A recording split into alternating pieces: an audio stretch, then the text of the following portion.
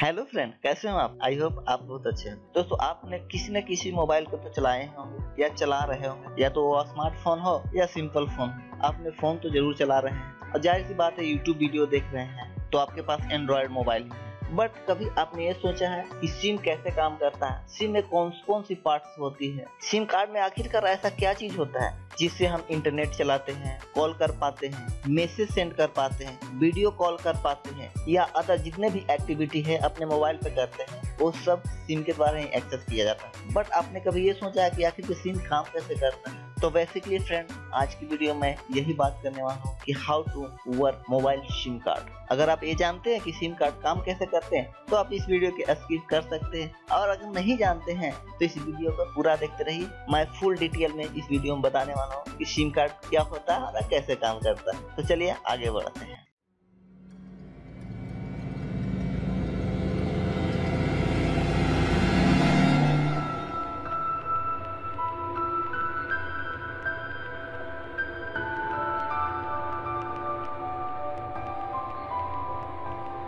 देखिए SIM card होता क्या है? अगर हम सिम के फुल फॉर्म जाने तो सिम का जो फुल फॉर्म होता है सब्सक्राइबर आइडेंटिटी मॉड्यूल यानी सब्सक्राइबर आइडेंटिफिकेशन मॉड्यूल यह एक ऐसा सिस्टम है, जिसके ज़रिए आपका मोबाइल नेटवर्क से कनेक्ट रहता है। मतलब जो आपका नेटवर्क सर्विस प्रोवाइडर है, वह आइडेंटिफाई कर पाता है कि आपका कौन से फ़ोन में कौन सा नंबर अभी सर्विस में इस्तेमाल किया जा रहा है, और आगे आपको क्या क्या सर्विसेज़ प्रोवाइड करनी चाहिए। इन सिम कार्डों में एक आई नंबर होता है जिसे हम generally international mobile subscriber identify कहते हैं। यह नंबर स्टोर होता है, चौसठ बीट हो सकती है, जिसके साथ में एक ऑथेंटिकेशन की होती है। इसके द्वारा आपको आइडेंटिफाई किया जाता है सिम कार्ड, यानी कि इंटीग्रेटेड सर्किट, जिसका उद्देश्य यह होता है इंटरनेशनल मोबाइल सब्सक्राइबर आइडेंटिफाई यानी कि आईएमएसआई नंबर और उससे संबंधित ऑथेंटिकेशन की को सुरक्षित रूप से स्टोर करना, जिसका इस्तेमाल मोबाइल टेलीफोन डिवाइस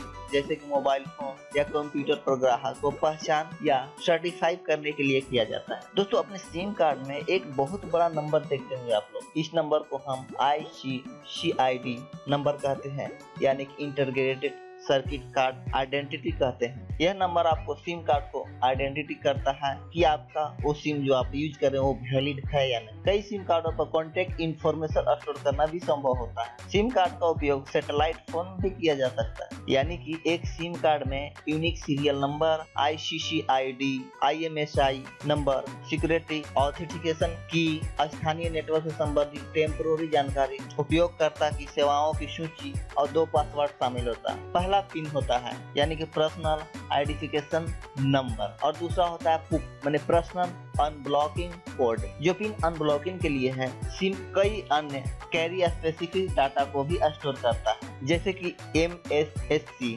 यानी short message service centre number service provider name S P N service dialling number N की value added service V S various data capacities आते हैं, जो कि 8 के बी से लेकर दो सौ छप्पन के बी तक हो सकते जिसमें अधिकतम 250 कॉन्टेक्ट तक स्टोर किए जा सकते देखिए, अब हम आते हैं सिम कितने प्रकार के होते हैं। देखिए बेसिकली सिम एक ही प्रकार की होती है, जिसे हम डिवाइड कर करके अलग अलग नामों से जानते हैं। जैसे कि पहले सिम कार्ड का जो साइज़ होता था, वो डेबिट कार्ड जैसा होता था। बट अभी काफ़ी समय से स्टैंडर्ड साइज़ चल रहा है। स्टैंडर्ड सिम का साइज़ होता है पच्चीस इंटू फिफ्टीन जो लगभग स्टैंडर्ड साइज़ जो है आज के सिमों से बड़े होते थे। और अभी भी है स्टैंडर्ड सिम और उसी माइक्रो सिम होता है। और सेकंड जो है माइक्रो सिम है, जो 2010 के बाद यूज़ किया जाता है। इसका साइज़ जो होता है 15 इंटू ट्वेंटी एम एम और थर्ड जो होता है नैनो सिम इसका जो साइज़ है, वो है 20.3 into eight point eight M M for combi SIM combo SIM standard SIM को ही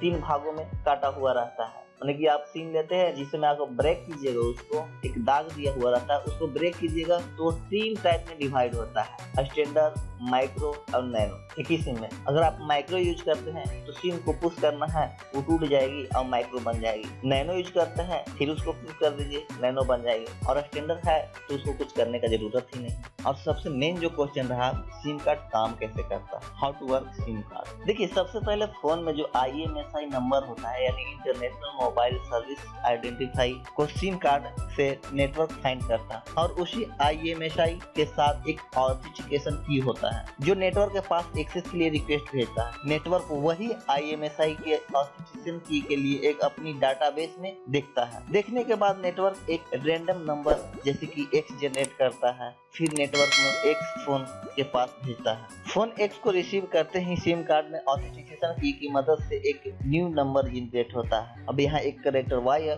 वाई को वापस नेटवर्क के पास मैच करने के लिए भेजता है। नेटवर्क जनरेट किया हुआ नंबर एक्स और सिम कार्ड जनरेट किया हुआ नंबर वाई ये दोनों अगर मैच होगी तो आपका सिम कार्ड लीगल घोषित किया जाएगा और उसी सर्विस को चालू किया जाता है। यानी कि सिंपल भाषा में कहें तो आईएमएसआई जो नंबर है, जैसे ही अपने सिम कार्ड को मोबाइल में हम अटैच करते हैं, एक ऑथेंटिकेशन की जनरेट करता है जो नेटवर्क के पास भेजता है। और देखिए जब आप अपने फ़ोन से कोई नंबर डायल करते हैं तो फ़ोन अपने सबसे नजदीकी सब स्टेशन पर एक सिग्नल भेजता है। उसके बाद सब स्टेशन उस सिग्नल को आपके द्वारा डायल किए गए नंबर पर सेंड कर देता है। तब जाकर आपका कॉल कनेक्ट होता है और आप किसी से बात करते हैं। तो दोस्तों आई होप आप समझ गए हो कि आपका जो सिम है, वो कैसे काम करती है सिम क्या होती है, किस चीज़ों का बनाई होती है। आई होप ये वीडियो आपको अच्छा लगा होगा।